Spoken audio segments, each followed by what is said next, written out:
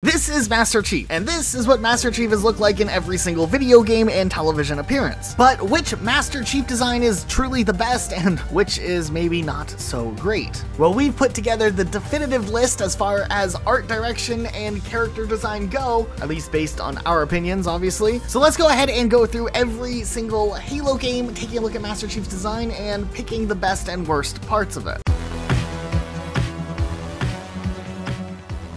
First things first, we're going all the way back to 1999's first Halo debut, where we got to look at what Master Chief originally looked like in the earlier development stages of the game. And on first appearance, if you haven't seen this, this is super awkward, but really charming at the same time, knowing that this is coming from an era where video games were so primitive when it came to 3D models in the late 90s. But what's really cool is you can actually tell that the armor is slowly starting to come together, representative of what Master Chief would be known for later on. Way later down the road, they released this helmet as a part of MCC for like a special anniversary of Halo, which was really cool to bring it into the universe. And you can't help but to wonder if this was the design that they ended up using for all the Halo games, what things would be like. Last year, Modder Cashiera actually made this incredible mod for Halo 3 that replaces Master Chief in cutscenes with this version, and it's amazing to think about. So yes, this one is goofy. I don't think this is like the greatest representation of Master Chief overall, but I definitely don't hate it either. We gotta start this list somewhere, and I think throwing this 1999 Master Chief from the Macworld event in B tier is a pretty good starting point for this overall tier list. Everything else has to either be better than this, or worse than this, or at least the same. Okay, Halo Combat Evolved came next, obviously, and this showed off what Master Chief would look like for the first time ever, and this was kind of the basis for what the future Halo games would choose to do. They would go ahead and make some positive refinements from this design later on, but this was kind of its first appearance, and I think that this Master Chief served its purpose perfectly. It introduced players to the franchise, showing that you're not just a regular secret agent like games like GoldenEye or Perfect Dark already did. You are a spaceman cyber dude who has this cool helmet, which kind of insinuates that the player is stronger than a standard person. It was actually really clever in this design, and while some things are a little bit clunky, I do really like the coloration that they chose for this version of Master Chief. It was unique for its time, and it's maybe not as detailed in texture as what later Halo games would have, but it worked for setting up this universe originally, so I think we're gonna go ahead and put this one in the A tier category. Now, when Halo 2 was announced, the expectation was higher than ever for what this Halo game could bring. Now, Halo 1 was already amazing, and it was way more successful than anyone expected it to be, so Halo 2 had to up the ante, and doing a redesign of the protagonist could be kind of a risky play. However, Bungie chose to go ahead and overhaul the appearance of the character, keeping the base and key parts that players loved, like this idea of a green super spaceman shooting stuff and whatnot. But obviously, with a lot of the technological advances that they added into the Halo engine, they're able to bring this character to life in a new way. And we had the Mark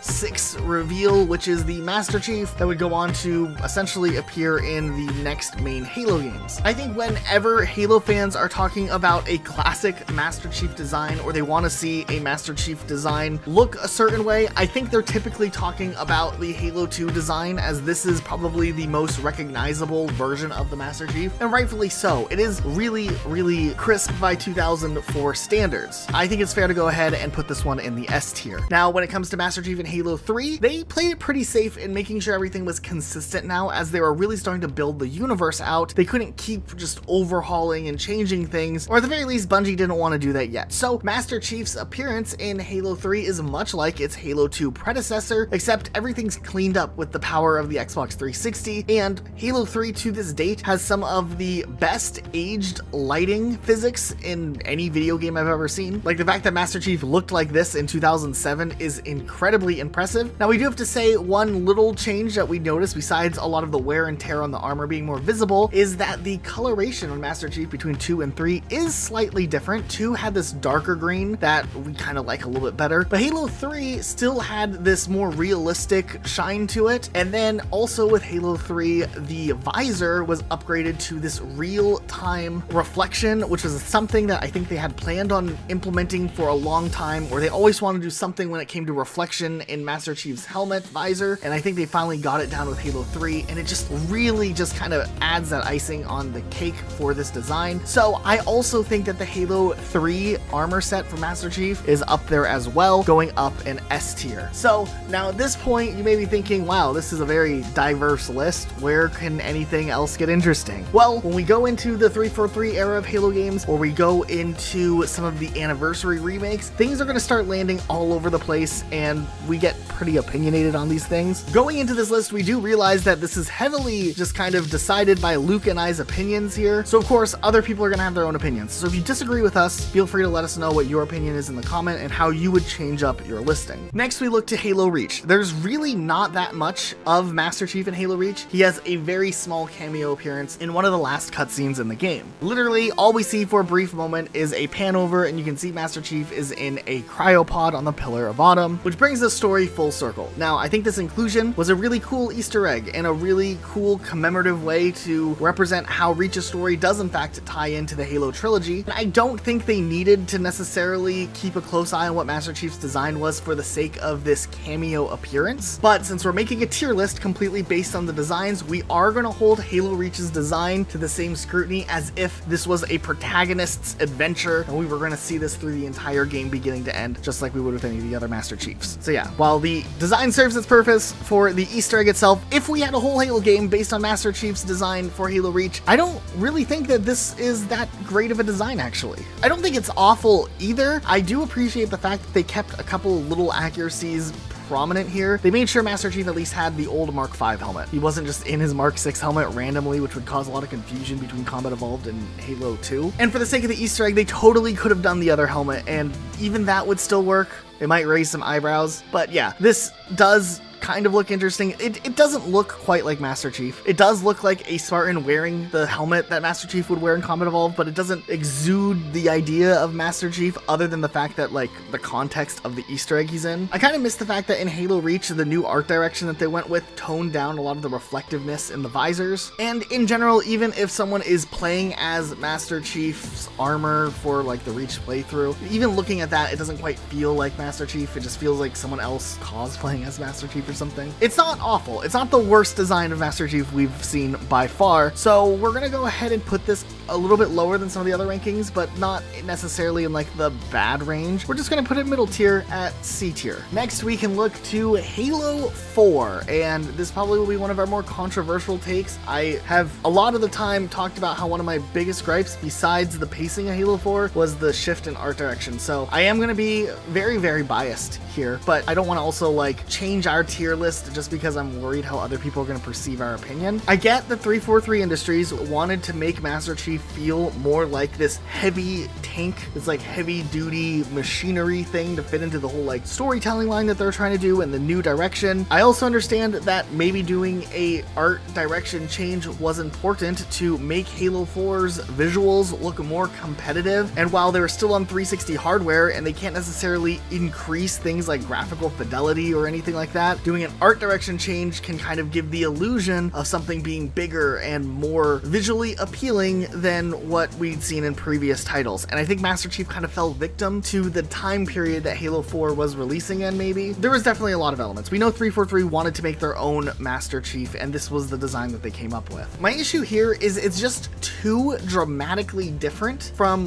where we had seen Master Chief last with Halo 3. And considering this picks up immediately after the events of Halo 3, it always felt very jarring leaving off on a cutscene like this and picking up right after in a cutscene that looks like this. And this character doesn't look like the Master Chief we had seen in previous titles like Halo 2 or Halo 3. And there was no real like in-lore explanation for why he looked dramatically different. I know there's that whole like nanobot thing that a developer said or something, but that's not necessarily canon, and it's dumb. And then on top of that, it just felt like some parts of Master Chief that are a part of his core were just abandoned here. His visor is a completely different color. I don't know when he went from gold visor to orange visor, and I know like in some promotional material it's goldish, but honestly, you watch all the cutscenes, he straight up has an orange visor throughout the entire game. I'm gonna go ahead and just put this one down here in F tier just to be completely honest to how I feel about this. Now, when it comes to Halo 5 Guardians, I do have slightly different opinions because they did do some interesting refinements with Master Chief's design. Uh, a little bit of a couple of weird things I have to point out, but for the most part, they did kind of do something interesting. They really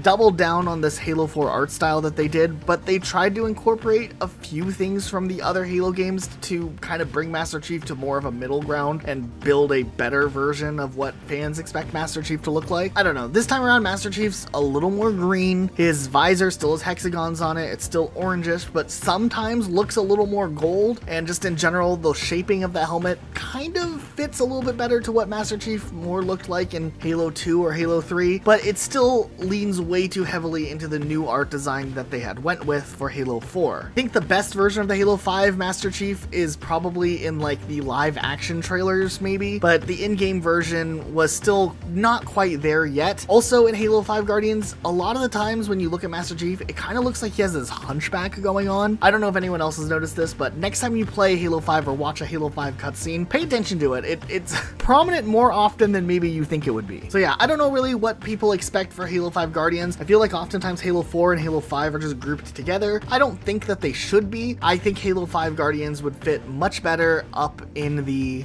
D tier, like one step higher than Halo 4. Also, we are going to go into the anniversary Halo games, but I want to just get through the main games first, so we're going to do Halo Infinite next. Halo Infinite had so many fans hopeful that, like, finally, after all this time, 343 was turning the ship around and really listening to fan feedback and changing things and working on a Halo game that fans truly wanted. And one of the things that reflected this idea, at the very least, was the redesigned Master Chief had when he was revealed finally for Halo Infinite. This design would get a few iterations, but for the most part, stayed pretty consistent, and we were introduced to this new version of Master Chief. And this version of Master Chief was really good, actually. It took a lot of the ideas from the original Halo games that fans really loved, even drawing some inspiration from things like Combat Evolved, and then keeping the at least concepts from Halo 4 and 5 where they wanted Master Chief to feel bulky, big, and heavy and have some weight to him without necessarily trying to like incorporate it or override it into the design. And I think because of that, we ended up getting a very good iteration of the Master Chief. I think that this is probably the best answer for where Halo needed to be with a Master Chief design if they weren't going to just bring back that good old Halo 2, Halo 3 design. And really, there's just not too much to complain about here. I think if they continued to use this design moving forward, we would be in pretty good shape. And then they can work on all the other things that they need to fix in Halo. They don't necessarily need to give Chief another redesign. We're gonna go ahead and put this one all the way up in A tier, which is probably higher than a lot of people expected us to put this. Okay, then over the years we had the Anniversary remakes, which did change things up quite a bit. Halo Combat Evolved Anniversary, I always love to talk about because when they first revealed Master Chief in the trailer, they hyped it up. They're like, look at these graphics. That was 10 years ago. This was Master Chief then. And this is him now. Da da da.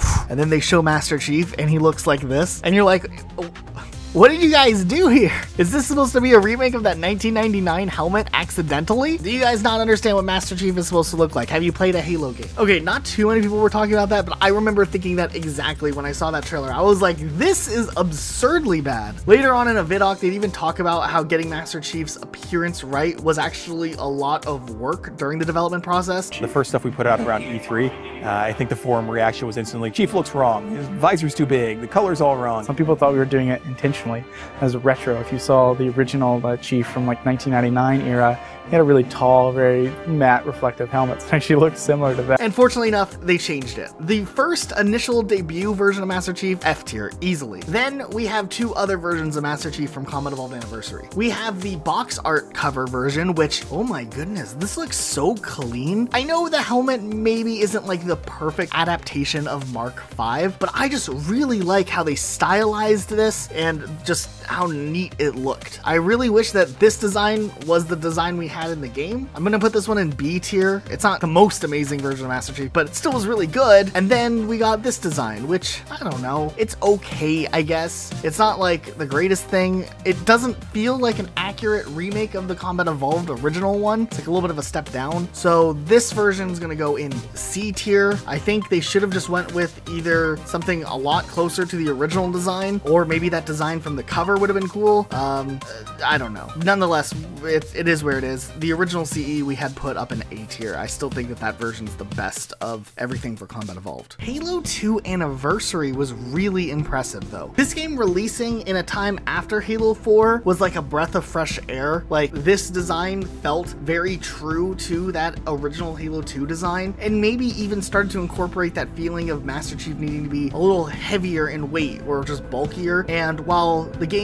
you know, just kind of repaints a lot of the in-game engine stuff when you're playing the game, the cutscenes that were animated by Blur really recreate that like tank feeling while keeping the original design true. And I think that this was like the first modern take on Master Chief that truly was good and maybe was what they went back to looking at when they were planning Halo Infinite. So I think Halo 2 Anniversaries, Master Chief specifically, the redesigned version, whether we're looking at the cutscenes or the in-game version, they're both great. And I think that this does deserve to go up in S tier as well. Okay, next we're looking at Halo 4's Forward Unto Dawn, and oof. Okay, um, this one I'm conflicted with. I was not a fan of Forward Unto Dawn. I've voiced my opinion on that. I think the best part of Forward Unto Dawn is definitely just like the ending stuff with Master Chief in it, like when the action actually happens. The rest of it is just filler, like just to fluff up the length of the thing. That being said, Master Chief, looking back at it now, um, he looks a little plasticky, I think. For a live action adaptation, this was a good starting point, maybe. I think that it's definitely not like the worst thing. I mean, they could have done like some weird cardboard cutout, but I also don't feel like it's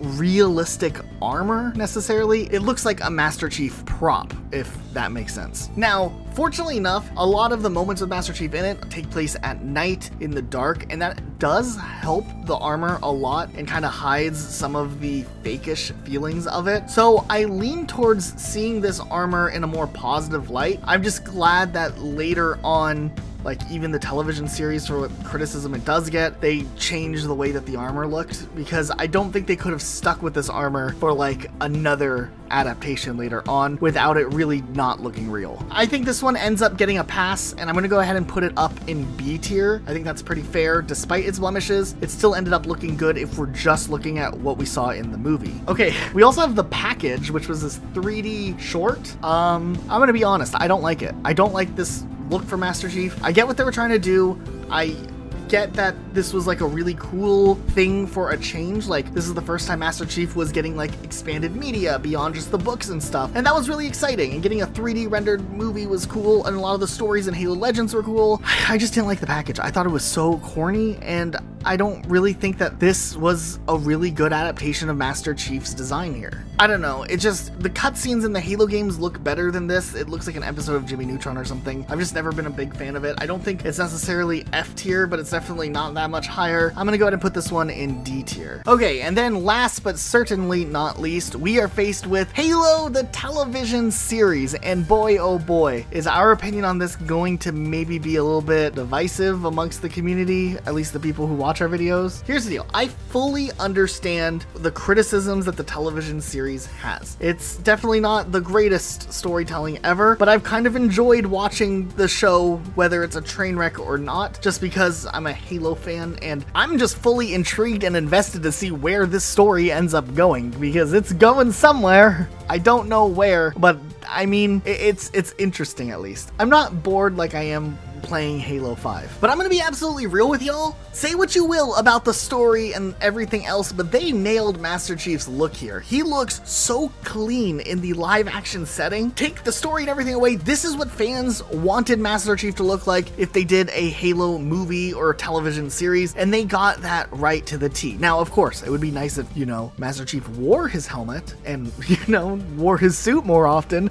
but that, that's a whole other debate. They nailed the suit, he looks good. And if we're talking about the future, I actually have more faith that the Halo television series will turn around than Halo Infinite actually being able to turn around. I don't know. I shouldn't say these things in these videos. Maybe I'm burning bridges, but you know, whatever. I'm putting the TV show version of Master Chief up in S tier. Now, I do know there are other forms of media when it comes to Master Chief, and we didn't want to include just every single appearance, like if he's in a comic book or maybe like an animated short or something like that. So we tried to stick to just this. I know some people are going to want to know about Fall of Reach's Master Chief. I think it looked pretty pretty good actually. I just don't want to have to open up the can of worms of every single animated Master Chief appearance or illustration that's ever existed. So we're we're gonna not go into that grounds. But yeah, the Fall of Reach one did look pretty good. Okay, guys, now it's time for the good old comment section. What do you guys think of our tier list? This is what we came up with. I feel pretty good about this. I feel like it's an honest and accurate depiction of how we feel about this. But if you disagree, feel free to let us know in the comments. I would be curious to see why you feel a certain way, or you know, maybe you really loved Halo 4 and 5's art direction. That's fair. Just tell us why. What what was it about it that you liked? Anyways, that's it for today though. Thanks so much for watching. Use code RocketSloth when getting your guys' gamer sup on. Also, thanks to our patrons for all of the support. We really appreciate it. If you guys want to throw a couple bucks our way, you can join our Patreon, link in the description. Otherwise, that's it for today. We'll see you next time with a brand new video.